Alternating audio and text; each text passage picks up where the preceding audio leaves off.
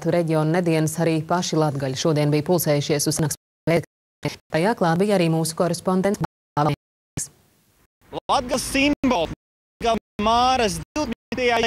jāsaknē, spriež, cik tad īsti novērtējumi gados ir ticis, ko tad īsti būt vienotam ar Latviju, vai gadījumā Latgale nav gājusi tieši pretējo ceļu.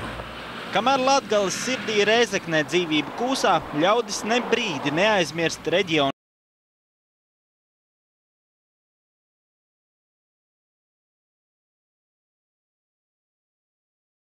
Vidējais bezdarba līmenis zilo ir 22,4%, kamēr Latvijā kopumā ap 12%.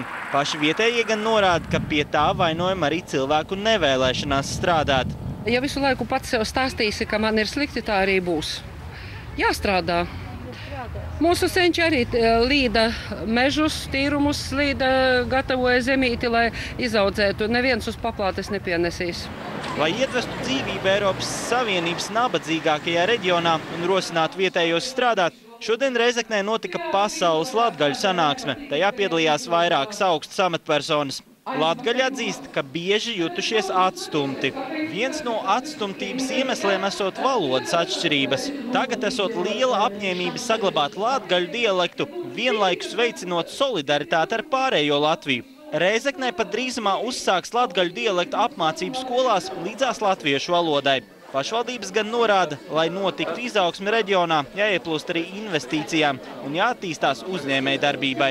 Tas ir tā, tā nozare, kura bija atstāta novārtā jau, jau 20 gadus. Un, faktiski mēs nedomājam, kā pelnīt naudu.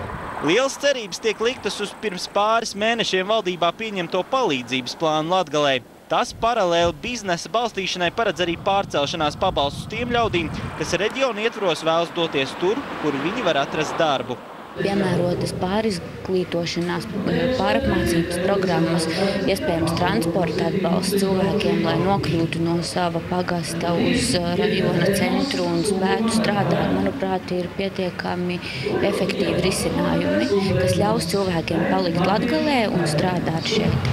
Stimulējot biznesu, jādomā par darba roku atgriešanos Latgalē. To valdība plāno panākt ar kultūras izaugsmi. Sanāksmes laikā kultūras ministra apmeklēja grandiozās Reizeknes koncertzāles projektu un atzina, ka joprojām pastāv uz savu daudz kritizēto nostāju. Kultūrai Latgalē attīstoties, atgriezīsies arī cilvēki pilsētas, kuras veido kultūras infrastruktūru un nodarbojās ar kultūras infrastruktūru, spēja piesaistīt vairākas lietas. Pirmām kārtām šajās pilsētās vēlas dzīvot vairāk iedzīvotāji. Un skaidrs, ka pašvaldību vadītāji mīl vairāk iedzīvotājus, jo viņi maksā nodokļus. Kultūras objekti piesaista jaunas investīcijas, tāpēc, ka investori redz, ka pašvaldība ir gatava ieguldīt. Grenda pārliecināta, ka Latvijā notiks kā Rietumē Eiropā, kur pētījumi pierādījuši, ka ieguldītais kultūrā reģionā ar investīcijām atgriežas četrkārtīgi. Tiesa 10,5 miljonus vērtās koncertzāles, kuru atklās nākamgad atdevi, varēs just tikai 10 gadu laikā. Dāvsalnieks Sergejs Medvedevs TV3 ziņas. Krievijā uzieta kāda musulmaņu sekta, kuras garīgie līderi gadiem ilgi bērnus turēja pagrabā. Daļa no viņiem drīz sasniegs pilngadību, bet